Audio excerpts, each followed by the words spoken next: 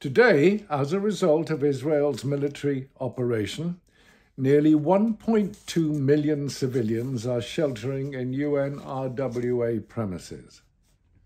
The agency has become the primary platform for humanitarian assistance to over 2.2 million people in Gaza, a platform on the verge of collapse. The majority of the 1.9 million displaced Palestinians in Gaza are seeking shelter in UNRWA facilities, which primarily consist of schools and tents. These locations themselves are not safe. To date, and despite Israel having been provided with the coordinates of all UN nations facilities, Israel has killed hundreds of Palestinian men, women, and children seeking shelter in UNRWA facilities and injured over a thousand. UNRWA is, as of today, still operational in Gaza, though just barely. Our staff are still operating health centres, managing shelters, and supporting traumatized people, some arriving carrying their dead children. We are still distributing food, even though the corridors and courtyards of our premises are too crowded to walk through. Our staff take their children to work so they know they are safe or that they can die together. More than 130 UNRWA staff are confirmed killed in bombardments, most with their families. The number might rise by the time you read this.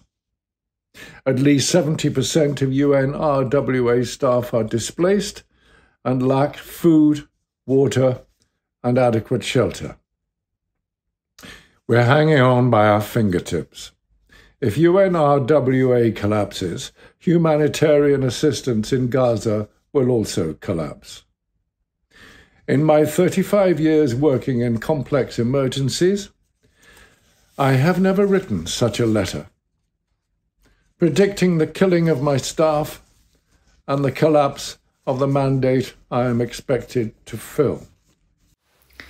Throughout Gaza, there are acute shortages in warm clothes, bedding, blankets, and critical non food items, with people heavily dependent on salvage wood and waste for cooking and warmth, raising the risk of respiratory diseases. There is also an acute shortage of clean water, severely impacting not just the ability to hydrate, but to wash, clean, and cook. The siege and infrastructure damage from bombing continue to prevent adequate water treatment and distribution and sewage management, with flooding exponentially increasing the risk of the spread of infectious diseases amongst displaced Palestinians.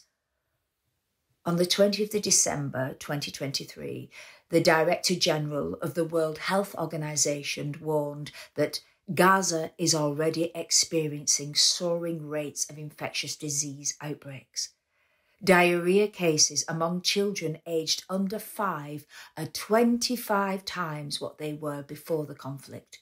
Such illnesses can be lethal for malnourished children, more so in the absence of functioning health services. Sewage is flowing into the streets where Palestinians are living, as it can no longer be managed. Everywhere you look is congested with makeshift shelters. Everywhere you go, people are desperate, hungry, and terrified. These conditions, deliberately inflicted by Israel, are calculated to bring about the destruction of the Palestinian group in Gaza.